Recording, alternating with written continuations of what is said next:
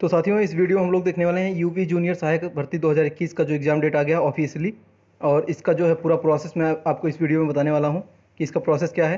तो UP junior aided assistant teacher भर्ती जो है 2021 का, जिसका पेपर पहले आपको सत्तर अट्ठारह अप्रैल के आसपास होना था, लेकिन कोरोना कोविड नाइन्टीन की वजह से पेपर आपका टल गया था और इस परीक्षा की नई तिथि जारी हो गई है। इसका प्रवेश पत्र कब जारी होगा, इसका ऑफिशियली आंसर की कब आएगी और इसका फाइनल रिज़ल्ट कब आएगा ये सारी जानकारी इस वीडियो में मैं आपको देने वाला हूँ, इसलिए आपको वीडियो पूरा देखना होगा।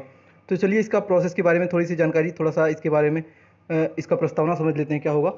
यूपी जूनियर एडेड सहायक भर्ती आपका जो आया था 2020 में, और इसमें जो कुल फॉर्म पड़े हैं, वो तीन लाख पैंतीस हज़ार फॉर्म पड़े हैं, जिसमें से आपका अट्ठारह हज़ार फॉर्म प्रधानाध्यापक के लिए पड़ा है। इसकी कुल सीटें की बात की जाए अगर तो टोटल वैकेंसीज है number of vacancies eighteen four मतलब अट्ठारह कुल हैं, जिसमें से असिस्टेंट टीचर यानी सहायक अध्यापक का जो पोस्ट है, वो है पंद्रह अगर इसमें बात किया जाए एवरेज की कि एक सीट के लिए कितने दावेदार हैं तो एक सीट के लिए 210 दावेदार हैं सहायक अध्यापक के लिए। तो कुल सीटें 1504 हैं, सहायक अध्यापक की इसकी औसत दावेदारी एक सीट के लिए बन रही है 210 टोटल फॉर्म है तीन लाख पैंतीस हज़ार।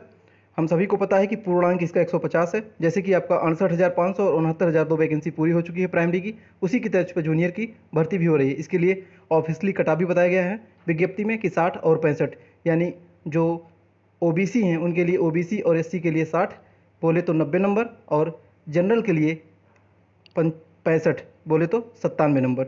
आपका पूर्णांक रहेगा 150 150 प्रश्न करने करने होंगे आपको और नब्बे और सत्तानवे आपका अंक लाना होगा पासिंग मार्क्स इसके लिए और एकेडमिक मेरिट आपके साथ में जुड़ेगी इस भर्ती में। जिन्होंने बी किया है या बीटीसी किया है, वो पहली बार बीटीसी जूनियर भर्ती में शामिल हो रहे हैं।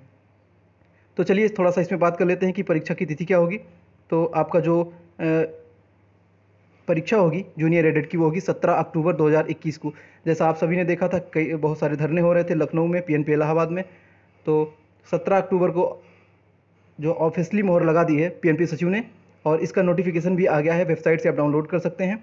इसका प्रवेश पत्र जारी होगा पाँच अक्टूबर दो हज़ार इक्कीस को, और जो ऑफिसली आंसर की उत्तर माला इसकी आएगी 21 अक्टूबर को आएगी। इसके बाद आप लोग आपत्ति करेंगे दो तीन दिन तक। फिर जो है फाइनली अंतिम रिज़ल्ट जो है, अंतिम परिणाम जो है यूपी एडेड जूनियर भर्ती का 12 नवंबर को आ जाएगा।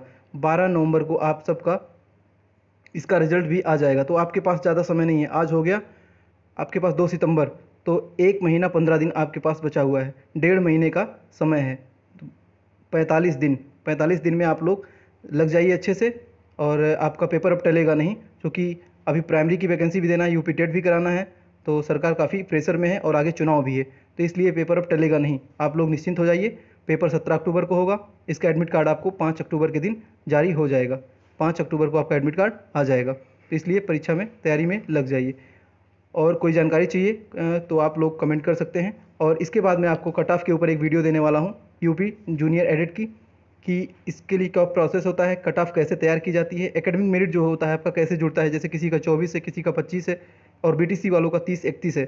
तो बी और बीटीसी में क्या अंतर है, कट ऑफ़ कैसे निकालते हैं, इसके लिए मैं आपको एक दो दिन में जल्दी से वीडियो दूँगा। आप लोग चैनल को सब्सक्राइब करके जुड़ जाइए और वीडियो को शेयर कर दीजिए और सभी साथियों को बता दीजिए कि आपका जूनियर जो सहायक अध्यापक भर्ती का परीक्षा है, वो अठारह पद के लिए, वो आपका 17 अक्टूबर 2021 को दिन संपन्न हो जाएगा। तो वीडियो को फटाफट शेयर कर दीजिए और सभी दोस्तों को बता दीजिए पेपर आपका 17 अक्टूबर को होगा और 12 नवंबर को रिज़ल्ट आ जाएगा।